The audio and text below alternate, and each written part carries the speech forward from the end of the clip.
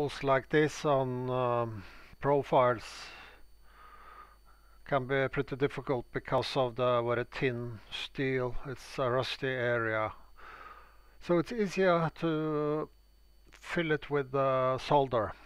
First of all, make the holes a bit uh, deeper to make room to fill them up with the solder. Wash it with uh, acetone.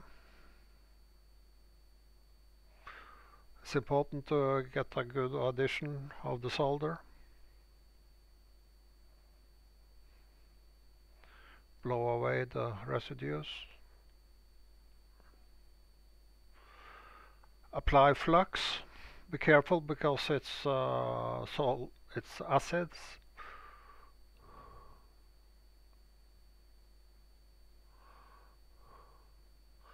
When you are heating, wear a mask. Uh, some of these uh, solders contain lead and it's not well to breathe too much of it. It shall turn brownish. The tin in the solder will melt and um, stick to the steel.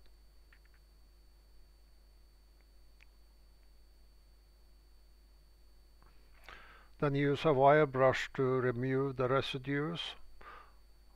It shall be nice and blank.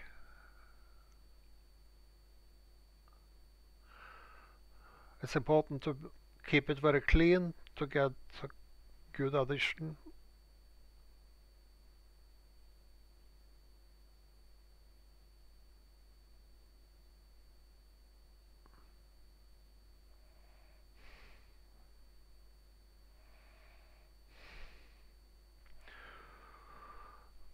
Then we are applying this, the solder.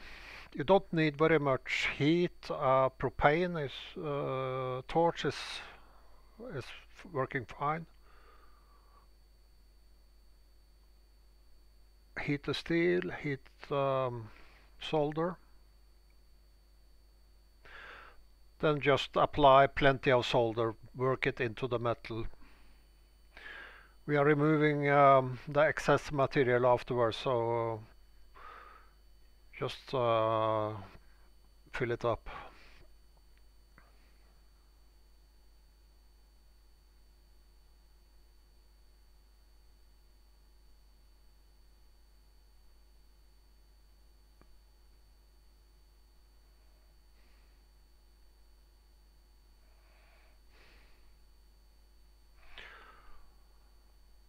Then we use a wooden paddle to remove the excess. You can buy one, but I, I just made one, one myself that fits the profile of the steel.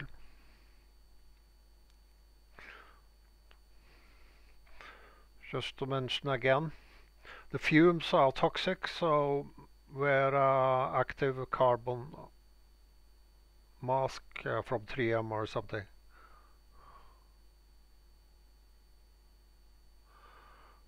Make sure to get uh, it nice and smooth and uh, the sanding will be a lot easier.